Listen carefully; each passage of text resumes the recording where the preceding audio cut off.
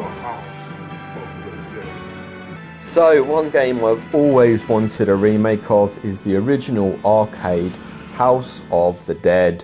I have many, many great, fantastic memories of playing this in the arcade back in the 90s and House of the Dead 2 and House of the Dead 3 as well.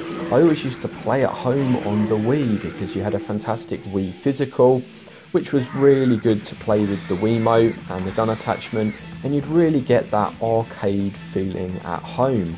But I was always a really big fan of this original.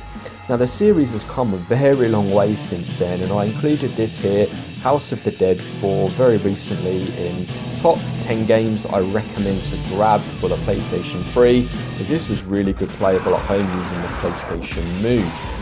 But I'm really, really hyped the fact we're getting a new remake of the original House of the Dead. And we're going to have a look at a little extract from that trailer because I'm really loving here how it looks.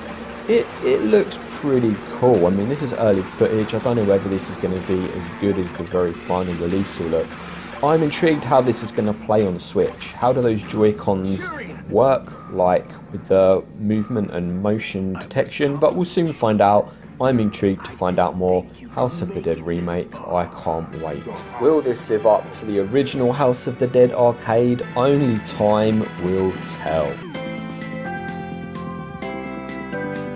Yes, mate.